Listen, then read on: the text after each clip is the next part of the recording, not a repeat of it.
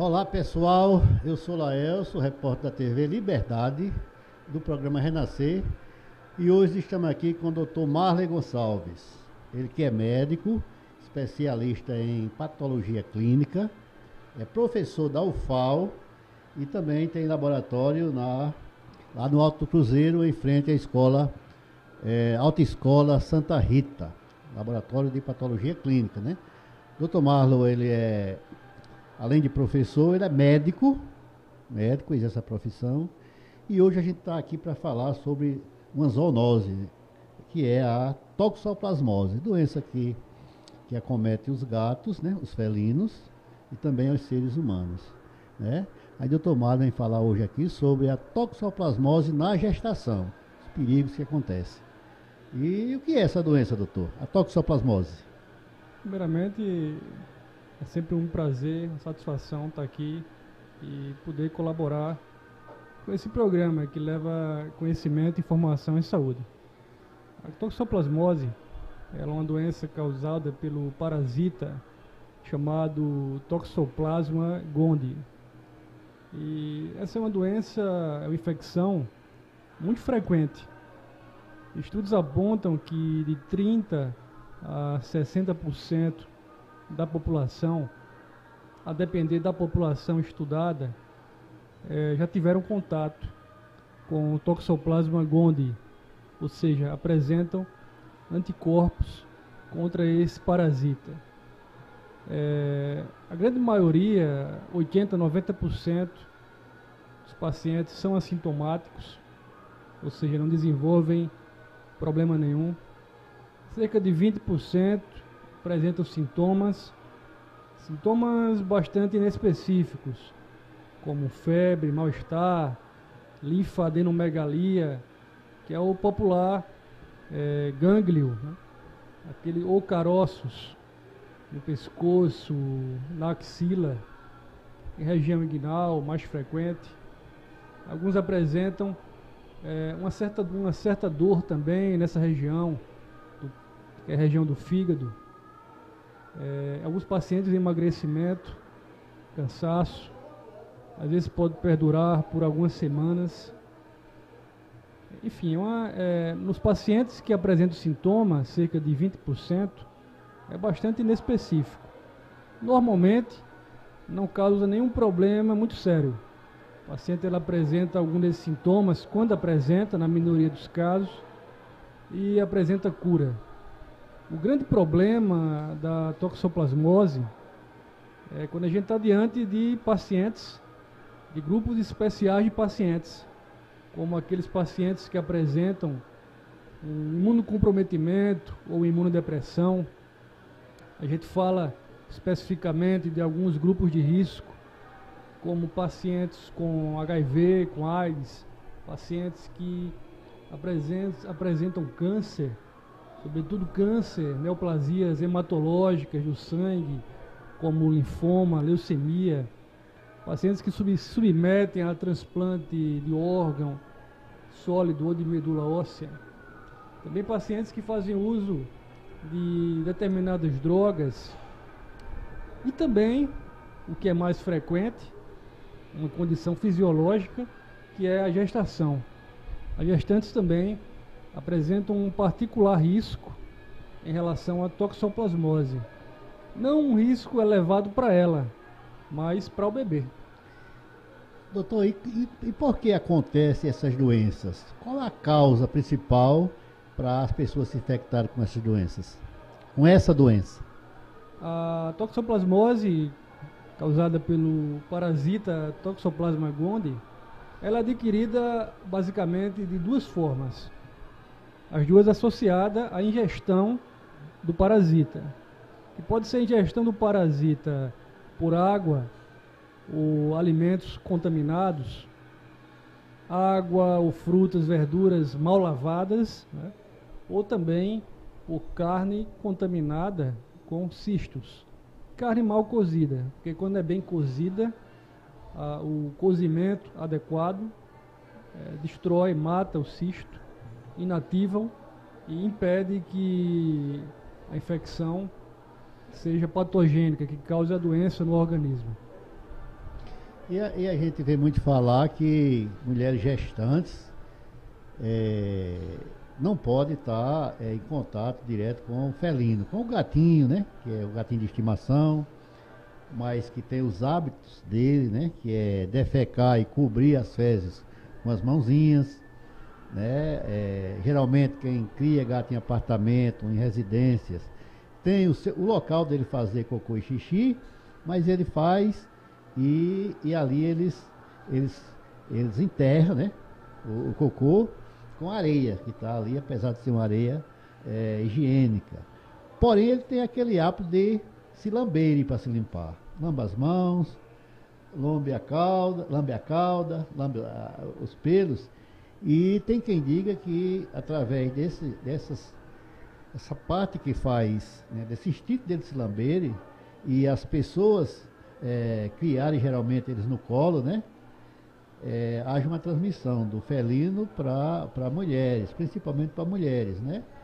E como a gente sabe, quando não está gestante, pode até ser que não tenha algum transtorno, mas quando está gestante, a coisa pode se complicar. Isso é verdadeiro, doutor? Sim.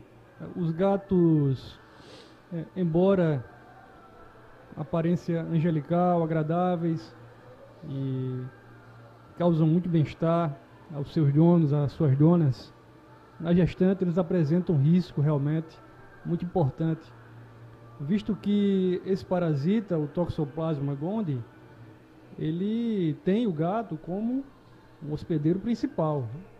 E o gato elimina muitos, é, muitos parasitas e contaminam realmente e apresentam um risco elevado para a gestante. No entanto, a gente tem que considerar duas situações específicas. Né? Por exemplo, a gente tem aquela gestante que ela mora em um apartamento e o gato está recluso no apartamento.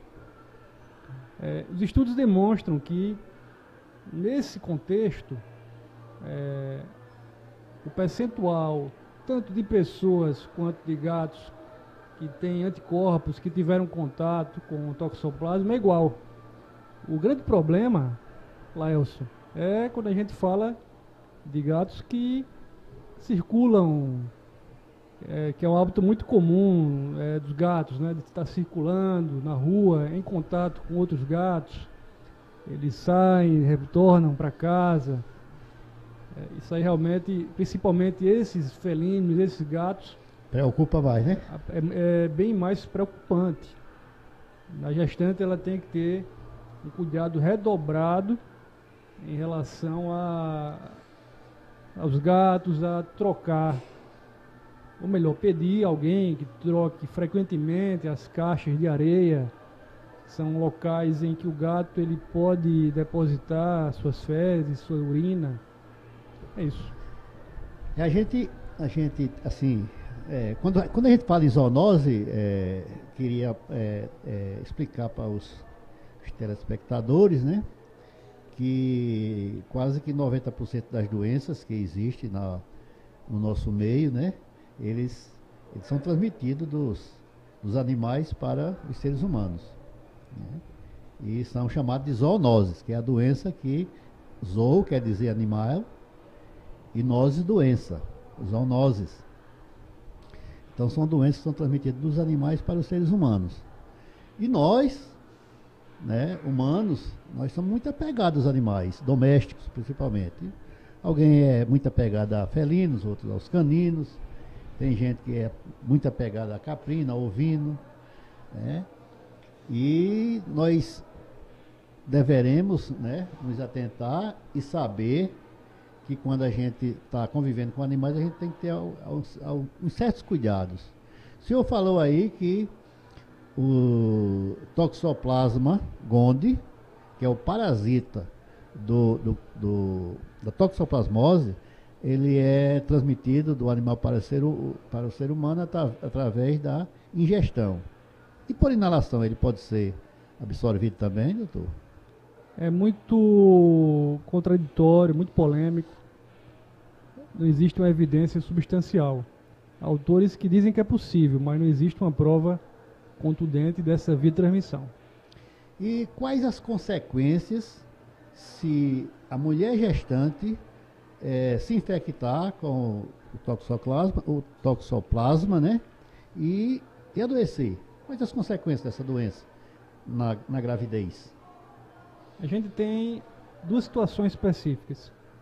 Tem a mulher que ela já teve contato com toxoplasma antes da gravidez. Normalmente não vai ter nenhum problema. Normalmente não vai ter nenhum problema, tanto, tanto para ela quanto para o feto. Exceto se ela tiver um imunocomprometimento grave, como por exemplo as, as pacientes que têm HIV, AIDS, já com a redução significativa da imunidade. Esta sim pode apresentar a toxoplasmose congênita, consequência para o feto. Mas é menos comum. O mais frequente é quando a gestante ela adquire a toxoplasmose durante a gravidez, nunca teve contato com o toxoplasma. Aí sim, realmente é um fator de risco, é, é grave, pode ser grave, tá? pode trazer uma série de consequências para o feto. A gente está falando aqui especificamente de, de aborto, de malformação fetal, complicações neurológicas, calcificação dentro do cérebro do bebê. Está falando aqui de problemas oftalmológicos, até cegueira, por exemplo, surdez. É, quando o bebê nasce, pode apresentar atraso no desenvolvimento neuropsicomotor, futuramente demência, pode dificuldades de andar, paraplegia, dificuldades de se locomover, dentre outras complicações como pneumonia, falência hepática, falência renal, pode, podemos ter graves complicações. Então é fundamental a importância e é assim indicado que a gestante, durante o pré-natal, ela faça exames para saber como está o seu status sorológico em relação à toxoplasmose. Ou seja, se ela já teve contato antes, se teve algum contato mais recente durante a gravidez, porque a gente sabe que, mediante esse estudo, pode-se indicar terapias, medicações, tanto para prevenir aquela gestante com toxoplasmose aguda durante a gravidez de passar para o bebê, e se já passou para o bebê, também reduzir as complicações no bebê. A gente, a gente eu chego a fico arrepiado quando, porque é, graças a Deus, né, a gente não tem filho com nenhum transtorno, nem netos, mas vocês imaginem o que é ter um filho, né, ou um neto com um transtorno dessa natureza que o doutor acabou de falar. É, é muito complicado. Tanto é que quando a gente tem algum parente, algum amigo que está com a esposa gestante, a gente pergunta, a, a, gente tem o costume de perguntar, e aí já sabe o sexo do bebê? Normalmente os pais respondem, né? Contanto que venha com saúde, o sexo não é, não tem essa importância. A importância é que ele tenha a saúde. E a gente viu aí que tem um, um filho, né? Tem uma, uma gestante que tem um filho com, com a gravidez que vá nascer um bebê com essas características que o doutor falou é complicadíssimo. E os sintomas para a gente desconfiar se está com, com toxoplasmose ou não. A mulher gestante apresenta alguns sinais, quais os exames que ela deve fazer para saber, e se o setor público, na hora de fazer o pré-natal, ele pede esses exames. É, a gestante pode apresentar os mesmos sintomas de qualquer paciente.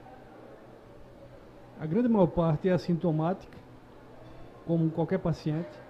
Uma minoria apresenta sintoma, que aí pode ser uma febre, uma linfonodomegalia, que são os gânglios, né?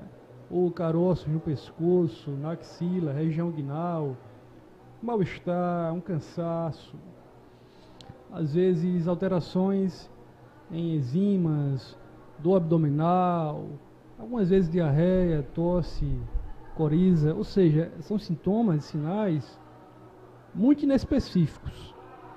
É por isso que é fundamental que se faça realmente o estudo do estado sorológico para toxoplasmose em, em todas as pacientes, independentemente do sintoma.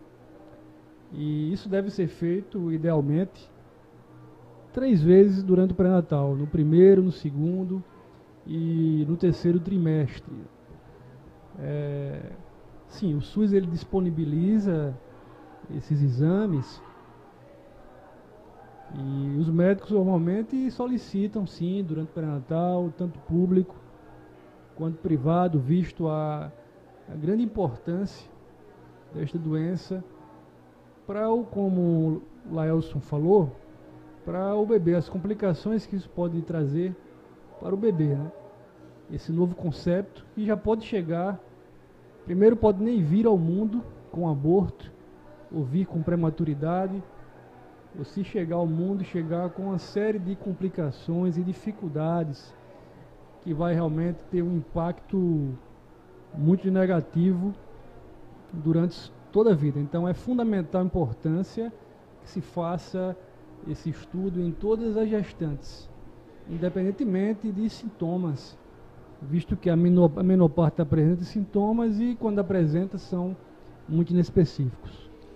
Aí fica essa, esse alerta do Dr. Marley, né, de, de principalmente para os médicos que trabalham em posto de saúde, de sempre de lembrar na hora de solicitar os exames da paciente, é colocar esse, esse exame de toxoplasmose dentro dos daqueles exames corriqueiros. E para os pacientes, para a população em geral, que, que bote na cabeça e fique lembrado. Quem não lembrar do nome, né? Quem não lembrar do nome, toxoplasmose, aí pode chamar, doutor, passa aquele exame que o pessoal é conhecido como a doença do gato, né? Não são todos os gatos. A gente frisa aqui. Aqueles gatos que estão, assim, criados isoladamente, dentro de um apartamento ou de uma casa, com todos os cuidados, ele tem a probabilidade muito menor de estar de, de, de tá sendo hospedeiro desse parasita. Mas aqueles gatinhos que não são castrados, principalmente, as gatas que gostam de, de sair, vai à rua, vai ao telhado, se junta com outros gatos de rua, aqueles são mais sujeitos a estar é, contaminados pelo toxoplasma gonde e merecem cuidados. Certo? Doutor, a prevenção, o que é que as, as mulheres, né, as pacientes, a gestante, tem que fazer para se cuidar e prevenir, para não adoecer?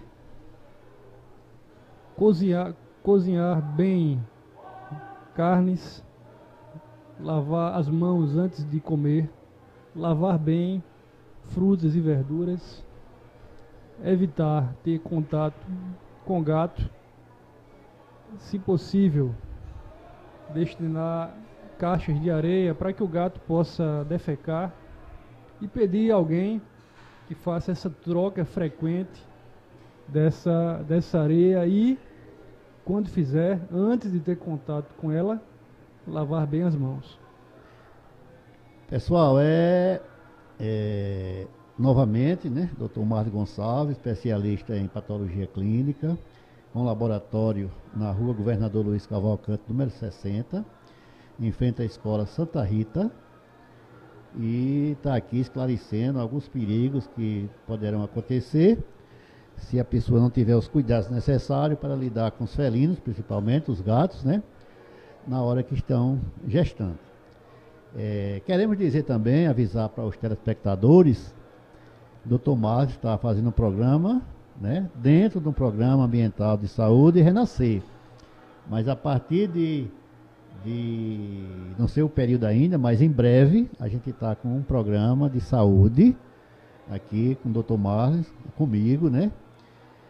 sobre a saúde em geral da população. Ele, já que é especialista nessa área, principalmente em prevenção, está preocupado em alertar as pessoas para a gente não ser necessário né, procurar é, chegar com um caso grave para ser atendido pelo médico. Né? Sempre se prevenir, que é essa a função dos médicos é, preventivos. Né? Sempre lembrando que é melhor prevenir do que remediar. Quando a gente está prevenido, a gente não é, tem o, o, o, desprazer de encontrar, um, um, ter uma surpresa quando vai ao médico. E, e ele está fazendo aqui essa função muito honrosa. A gente fica muito grato, a população agradece aos, aos os, os conselhos, né? A, a entrevista, o alerta do Dr. Marley isso aí é uma coisa que não, não é corriqueiro de ser feito, é, principalmente aqui no nosso município, mas que ele se dispôs a tirar um tempo para, podemos dizer assim, para pagar um pouco do que a sociedade investiu é, através de seus impostos no curso de medicina e nos demais cursos que tem, é, que tem nas universidades. Todos esses cursos são sustentados pelos nossos impostos. O doutor Mato está fazendo uma uma coisa aqui muito nobre, que é repassar os conhecimentos para as pessoas que precisam de, de orientações. E todos nós precisamos de, de conselhos médicos, de procurar orientações com os médicos, e na hora que estiver doente, sempre, nunca tomarmos o remédio por nossa conta, sempre procurar o médico, e o médico é quem sabe, né, através de, de algumas solicitações de exames, o que é que a gente deve tomar ou não. Eu queria aqui, já estamos é, no adiantado da hora, que o doutor Marlos é, tecesse os seus comentários gerais e o seu alerta para toda, a, toda a população com relação à toxoplasmose. O meu alerta especial vai para o principal grupo de risco, especificamente, que é a gestante. É fundamental a importância que você tome todas essas medidas preventivas que eu acabei de falar e sempre faça também avaliação. Converse com o seu médico para realmente ele pedir, avaliar como é que está a sua resposta, os seus anticorpos em relação ao estudo laboratorial da toxoplasmose. Então, de antemão, queria agradecer ao doutor Márcio Gonçalves, que está com um laboratório lá na rua Governador Luiz Cavalcante, número 60, em frente à Escola Santa Rita, e, e fazer igual meu amigo Tony. E viva a liberdade! Curtam, compartilhem, é, se inscreva no, na TV Liberdade e teremos sempre notícias educativas com relação à saúde para vocês.